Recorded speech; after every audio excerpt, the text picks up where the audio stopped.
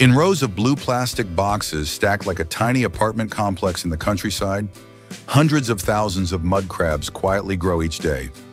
From these humble containers, they begin an extraordinary journey, crossing oceans, traveling thousands of miles until they finally appear on luxury dining tables in Singapore, Tokyo, and New York.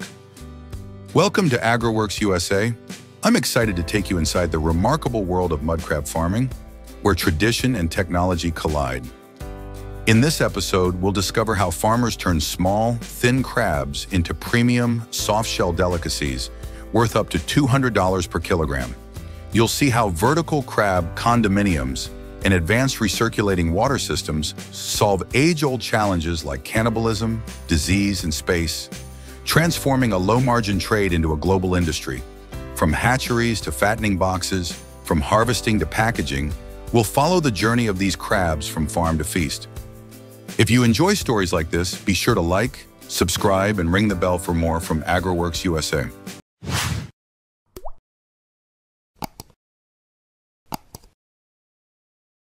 Mud crab farming has become one of the most profitable sectors in aquaculture. Soft-shell varieties in particular are valued as luxury seafood, fetching $100 to $200 per kilogram on the international market.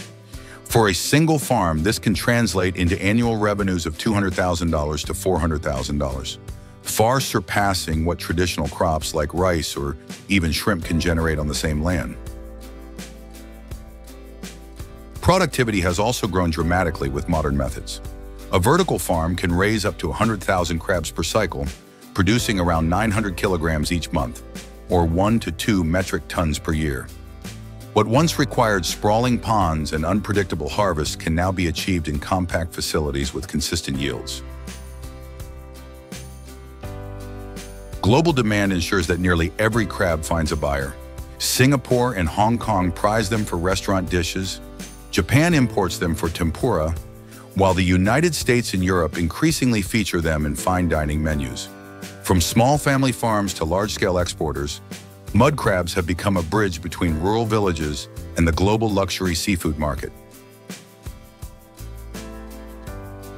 For generations, mud crabs were raised in wide earthen ponds carved into coastlines and mangrove swamps. The approach looks straightforward. Add brackish water, release juveniles, and wait for harvest. But in practice, it was fraught with inefficiency. Ponds demand vast coastal tracts, often several hectares, which are costly and increasingly scarce. Growth is painfully slow. A crab may reach 300 to 400 grams in three to four months, but nearly a year is required to surpass one kilogram. Losses are frequent. Crabs are territorial and cannibalistic, so if densities are mismanaged, mortality can exceed 30%. Worse, ponds are exposed to the elements. Sudden shifts in salinity, extreme heat, or contamination from nearby waterways can wipe out entire crops overnight. For many farmers, traditional mud crab farming felt less like a business plan and more like a gamble. Out of these limitations came a breakthrough. Vertical crab farming replaces sprawling ponds with stacked plastic boxes, miniature crab condominiums, linked to recirculating aquaculture systems. Clean filtered water stabilizes conditions while fattening technology upgrades thin crabs into Class A exports within weeks. This shift has turned crab aquaculture from an uncertain venture into a precise, scalable industry producing consistent, high-value harvests year-round. If you were a farmer, would you dare to invest in traditional ponds? Let us know in the comments.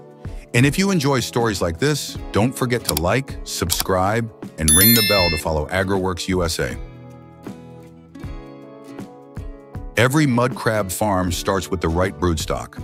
Large, healthy females are selected, each carrying thousands of eggs.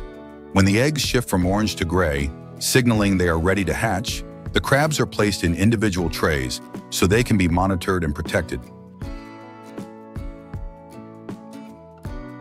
The eggs are transferred into whirlpool tanks, where constant circular flow keeps them oxygenated. Each tank is carefully labeled by age to track development. Once the larvae break free from their shells, they are moved to nursery tanks for their most vulnerable stage.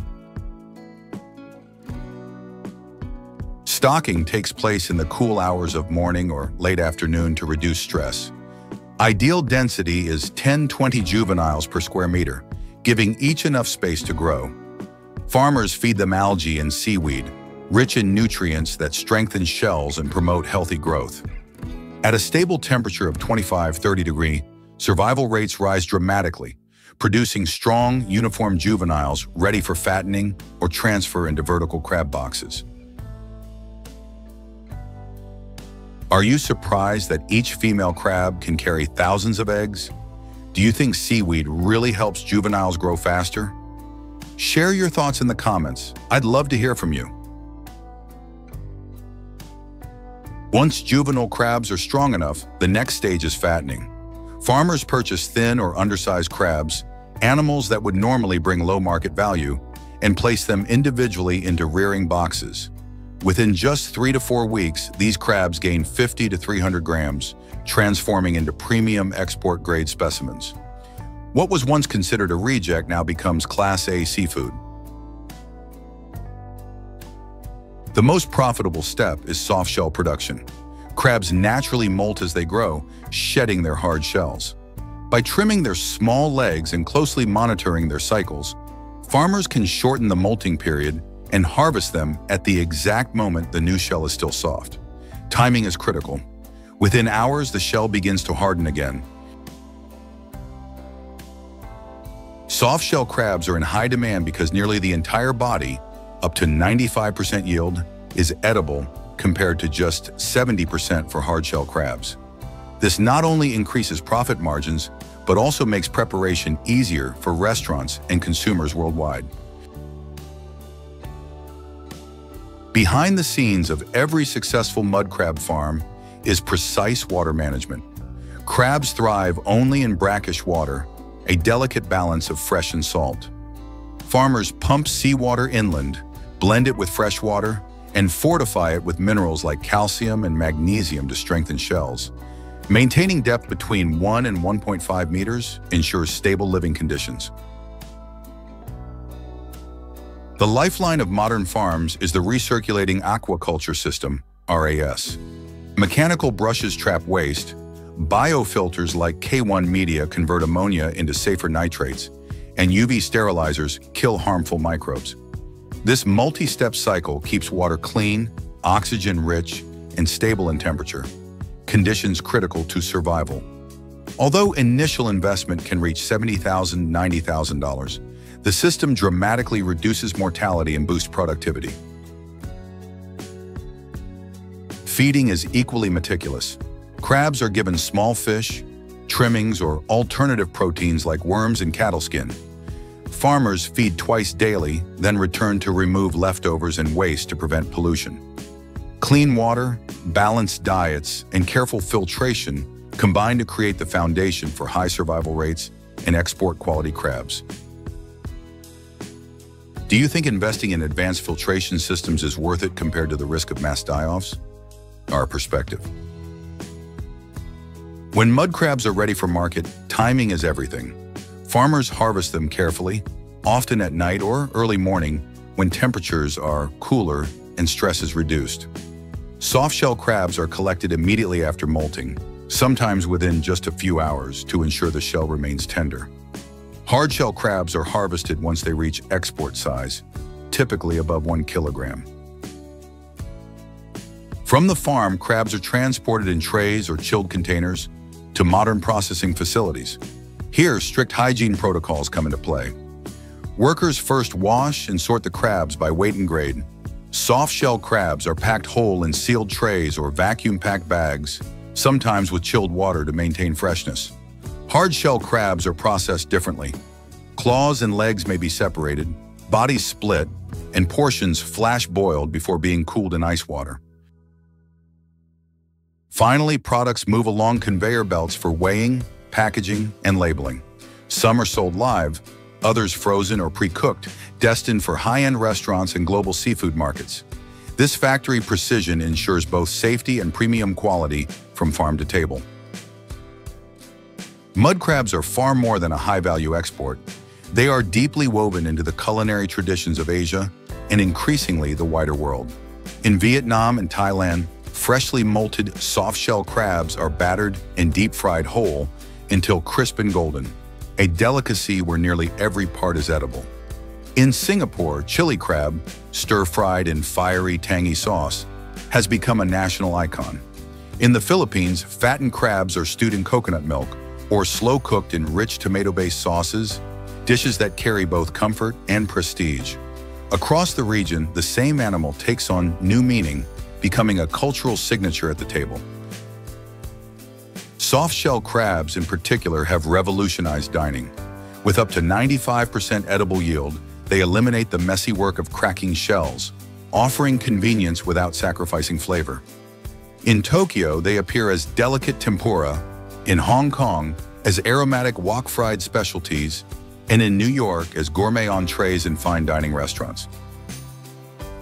From roadside stalls to glittering banquet halls, mud crab dishes connect humble coastal farms with global palates, turning aquaculture innovation into unforgettable culinary experiences that celebrate both heritage and progress. Have you ever tried a dish made from mud crabs? Share your experience in the comments, and don't forget to like, subscribe, and ring the bell for more insights from AgroWorks USA. The rise of mud crab aquaculture has reshaped not only markets, but also coastal communities. Vertical farming and soft-shell production reduce pressure on wild stocks long depleted by overfishing.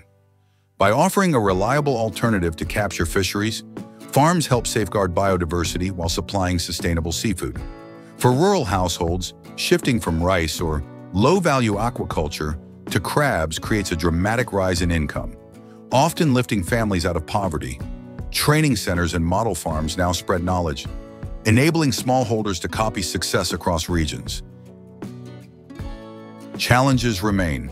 Recirculating aquaculture systems consume steady electricity, and poor waste management can harm waterways.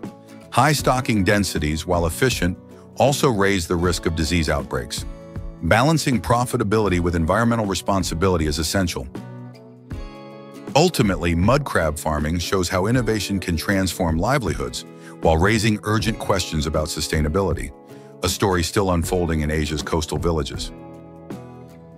From tiny hatchlings in stacked boxes to prized dishes in luxury restaurants, mud crab farming has proven how technology can transform a fragile species into a global delicacy. Vertical systems and fattening methods now provide steady yields higher incomes, and a reliable alternative to overfishing. The future will depend on smarter water systems, automation, and responsible growth. If these farms can balance profit with sustainability, they may become a model for aquaculture worldwide.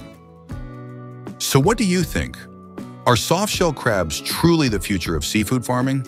Share your thoughts in the comments, and don't forget to like, subscribe, and ring the bell for more from AgroWorks USA.